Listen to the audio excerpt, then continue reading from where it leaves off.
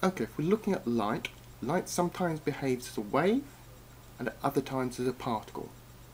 Many physicists ignore this dichotomy and instead focus on theories and properties regarding particle physics. The general view is that a photon of light has energy but no mass. Their view is that a photon can convert this energy into mass and that mass can also be converted into a photon of light. This is generally thought of by physicists focusing on subatomic particles, lacking a real everyday life model to look at the subject in a practical way. When a photon of light strikes an electron orbiting an atom, it is captured and it raises the orbit of the electron up an energy level. This process is reversed when the electron emits a photon. The electron also has a tiny change in mass at the same time, of approximately equal to 1.8 times 10 to the minus 42 grams, is really, really small, but not zero. If you take the view of most particle physicists, this is subscribed to the increase in potential energy of the electron after it has captured the photon. However, instead of using models of subatomic particles to describe the actions of the photon, you can use a totally different model for what happens to get a new approach to the photon.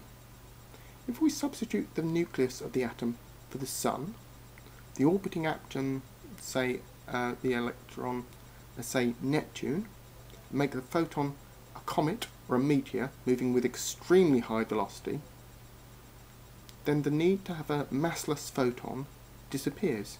Instead, we can replace it with an extremely light, at least in comparison to the mass of an electron, rapidly spinning subatomic particle. This model, when the photon is either caught in the orbit of Neptune or collides with it, Neptune gains mass and energy, the new combined mass will now orbit at a greater distance from the Sun. Having the photon as a light spinning particle which removes some of the observed issues with massless waves such as diffraction. However, it does pose some other questions relating to accepted theories in physics. Most uh, significant of these is that using the most famous equation of all, something which has mass can't reach the speed of light.